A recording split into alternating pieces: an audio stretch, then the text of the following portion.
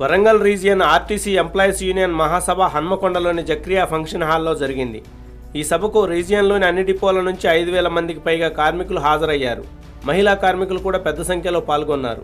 గుర్తింపు సంఘంగా సాధించిన విజయాలు రానున్న ఎన్నికల్లో అనుసరించాల్సిన పద్ధతులను నాయకులు వివరించారు. పదహారు డిమాండ్లతో తీర్మానాలు చేశారు.